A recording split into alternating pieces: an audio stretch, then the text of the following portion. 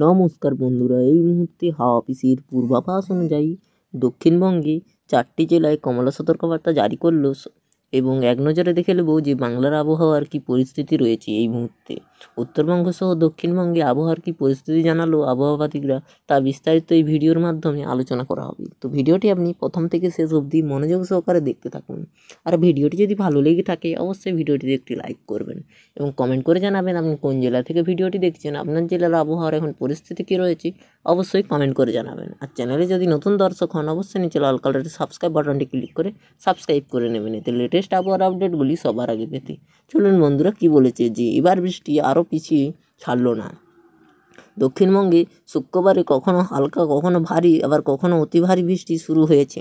তা শনিবারও চলছে এবং শনিবারে বাকি সময় চলার পরে বাকি রবিবার থেকে দক্ষিণবঙ্গে অধিকাংশ জেলায় পরিস্থিতি উন্নতি হবে। শনিবার বিকেলে দেয়া উত্তরবঙ্গে আবহাওয়া দপ্তরের পূর্বাভাস অনুযায়ী শনিবার বিকেলে সময় এর জন্য দার্জিলিং, জলপাইগুড়ি কালিম্পিক উত্তর দিনাজপুর, দক্ষিণ দিনাজপুরে ভারী বৃষ্টি হতে পারে। আলিপুরদুয়ার, কোচবিহার ও মালদহে হালকা থেকে মাঝারি ধরনের বৃষ্টি হতে পারে। পরবর্তী চব্বিশ ঘন্টায় অর্থাৎ রবিবারের আবহাওয়া ও পূর্বাভাসে বলা হয়েছে যে দার্জিলিং, জলপাইগুড়ি অলিম্পিকে আলিপুরদুয়ার ও কোচবিহারে ভারী বৃষ্টি হতে পারে।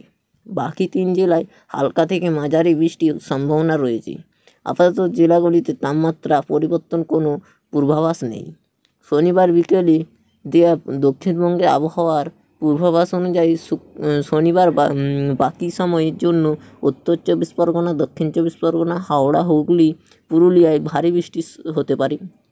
ভারী বৃষ্টি থেকে অতি ভারী বৃষ্টি এ হতে পারে পূর্ব মেদিনীপুর, পশ্চিম মেদিনীপুর, ঝাড়গ্রাম, বাঁকুড়া এবং বাকি জেলাগুলিতে হালকা থেকে মাঝারি ধরনের বৃষ্টির পূর্বাভাস রয়েছে।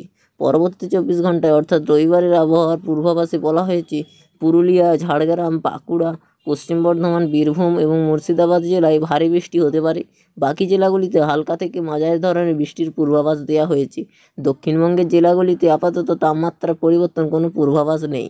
শনিবার বিকেলে আবহাওয়া দপ্তর জানিয়ে দিয়েছে যে, আগামী চব্বিশ ঘণ্টার জন্য কলকাতা ও আশেপাশে এলাকায় আকাশ সাধারণত মেঘলা থাকবে।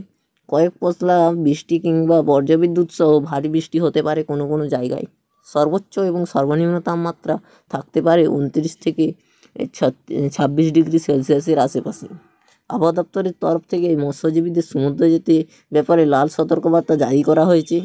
বলা হয়েছে, নিম্নচাপের কারণে সমুদ্রের উত্তাল রয়েছে। সে কারণে তিরিশে সেপ্টেম্বরের পাশাপাশি পয়লা অক্টোবর যেন মৎস্যজীবীরা সমুদ্রের ধারে না যায়।